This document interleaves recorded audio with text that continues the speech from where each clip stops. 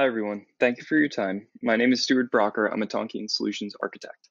I'm excited to talk to you about Tonkean. It's a no-code process orchestration platform.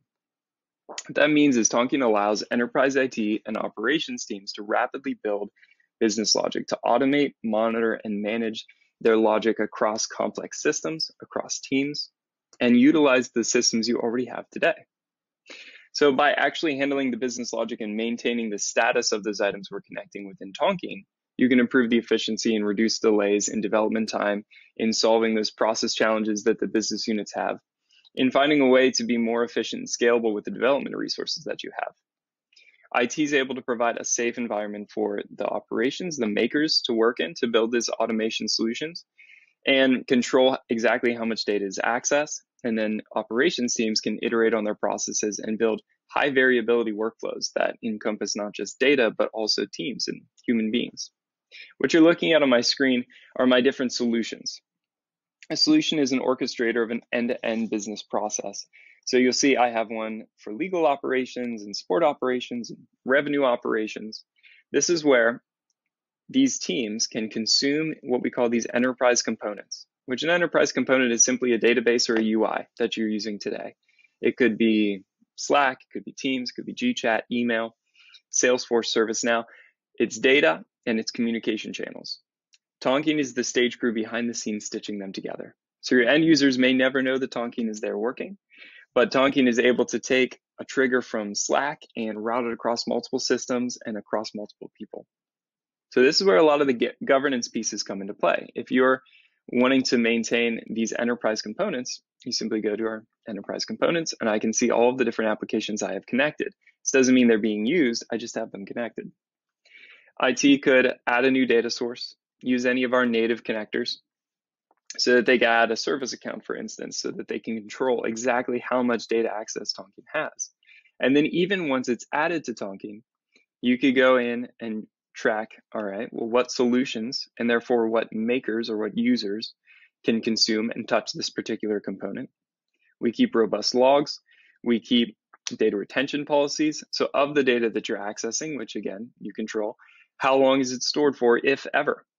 Are there fields that you want to encrypt? So all of those actions are possible at this enterprise component level. And then if you grant access in the Solution Studio, then those business users, users, then those process engineers can come in and consume them, use them as Lego blocks to stitch together complex processes. For instance, here's an account creation example for revenue ops. If a salesperson goes into Slack and says, I want to add this user to Salesforce, well, let's do that right now. That's my trigger in this case, which you can have many different triggers for a Tonkean flow. These run asynchronously, so multiple things could happen at once. The account executive might go to Slack because maybe that's where they're most comfortable working.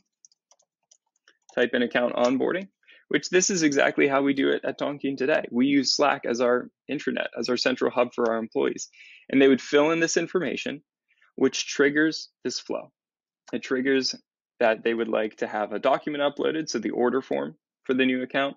And revenue options is going to approve or reject or review that request. And then ultimately automatically make it within Salesforce.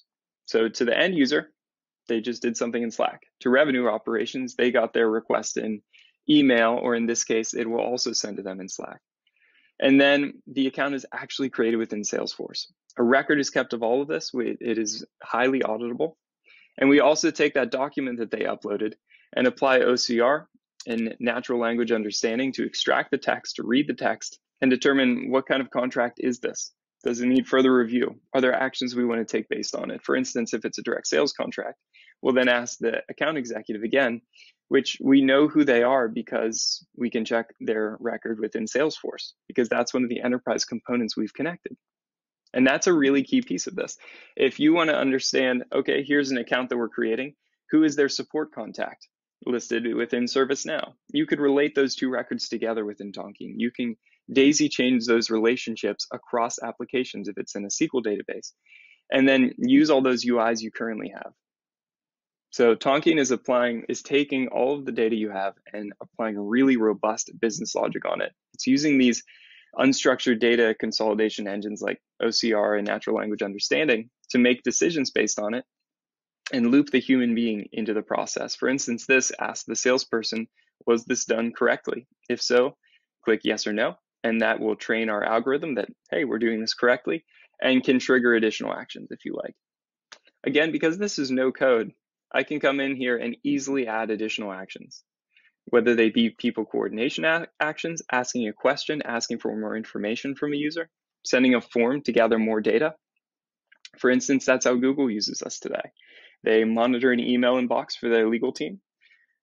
Tonkean extracts the data, reads it, and then if additional information needs to be provided, sends an update form to the appropriate team to gather more data so that the lawyers don't have to spend time hunting people down and trying to manage their email inbox. Tonkean does it for them. And then all of these different workflow actions, whether it be let's set another wait trigger to wait for a user to respond or wait for a system to update, extract text from a document, and then take advantage of all these enterprise components that we've defined.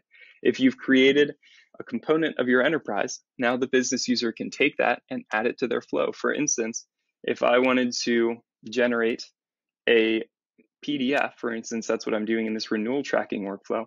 Once the account is added to Salesforce, we'll monitor that entity, we'll monitor that endpoint, and watch for, again, additional triggers. If their renewal is within 30 days, as defined by the AE, we'll ask for additional information. Who is the, is the account going to renew? If so, please provide a renewal contact, which we'll update in Smartsheets, and then create a document template and actually begin that, that renewal process. Even trigger, for instance, DocuSign if we want to, to create an envelope, create a document, and send it out. Please note that we also keep what we call business reports, which looks like this. And so every time this module runs, it's going to create a record and basically track everything that was done by who, and then after the fact, hold on to that record and show you what status it's in, who it's assigned to when it was made, allowing you to pull these high level metrics. And of course, you can export this out into your favorite reporting tool.